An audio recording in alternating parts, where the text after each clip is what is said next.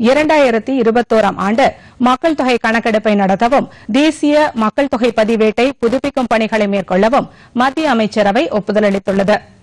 நிலத்தடி நீர் மேலாண்மைக்கான அடல் பூஜல் யோஜனா திட்டம் ரயில்வேயை புனரமைக்கும் திட்டம் முப்படைகளுக்கும் சேர்த்து புதிய தலைமையை உருவாக்கும் திட்டம் ஆகியவற்றுக்கும் மத்திய அமைச்சரவை கூட்டத்தில் ஒப்புதல் அளிக்கப்பட்டுள்ளது. சுற்றுலா கட்டமைப்புகளை மேம்படுத்த இரண்டாயிரத்து நானூறு கோடி ரூபாய் ஒதுக்கவும் அமைச்சரவை அனுமதி அளித்துள்ளது. மத்திய அமைச்சரவை கூட்டம் பிரதமர் நரேந்திர மோடி தலைமையில் புதுதில்லியில் நேற்று நடைபெற்றது. இக்கூட்டத்தில் இரண்டாயிரத்தி இருபத்தி ஓராம் ஆண்டு மக்கள் தொகை கணக்கெடுப்பை மேற்கொள்ளவும் தேசிய மக்கள் தொகை பதிவேட்டை மேம்படுத்தவும் ஒப்புதல் அளிக்கப்பட்டது. இதற்காக சுமார் பதிமூன்றாயிரம் கோடி ரூபாய் ஒதுக்கவும் அனுமதி அளிக்கப்பட்டது. பத்தாண்டுகளுக்கு ஒருமுறை நடத்தப்படும் இந்த கணக்கெடுப்பை இரண்டு கட்டங்களாக மேற்கொள்ள தீர்மானிக்கப்பட்டது. இதன்படி முதல் கட்டமாக வீடுகளின் எண்ணிக்கை மற்றும் வீடுகளின் தன்மை குறித்த கணக்கெடுப்பு இரண்டாயிரத்தி இருபதாம் ஆண்டு ஏப்ரல் மாதம் முதல் செப்டம்பர் மாதம் வரை நடைபெறும்.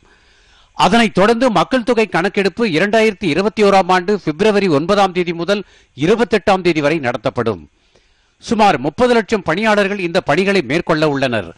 மேலும் செல்போன் செயலி மூலமாக தகவல்களை சேகரித்து மத்திய தொகுப்பில் சேர்க்கப்படும் என்று தெரிவிக்கப்பட்டது.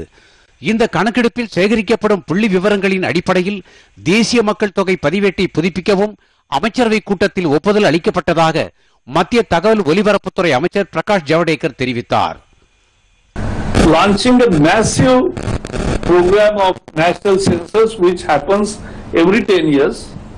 So 2021 is the census year and housing, every house will be mapped, listed during April and September 2020 and in February 2021 head count will be done. This national population register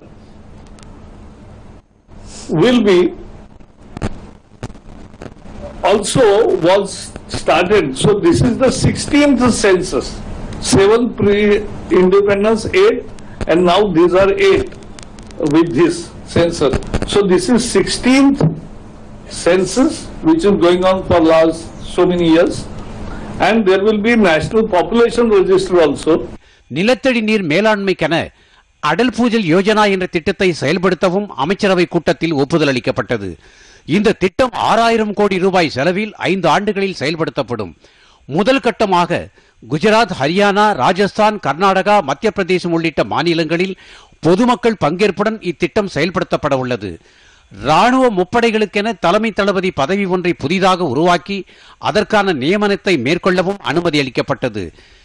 railway துறையின் கட்டமைப்பை மறுசீரமைப்பதற்கான பெரும் திட்டத்திற்கு ரயில்வே துறையின் எட்டு ஏ பிரிவு பணியிடங்களை ஒருங்கிணைத்து இந்திய ரயில்வே மேலாண்மை பணி என்ற பெயரில் புதிய பணி ஒன்றை உருவாக்கவும் அமைச்சரவை கூட்டத்தில் அனுமதி அளிக்கப்பட்டது.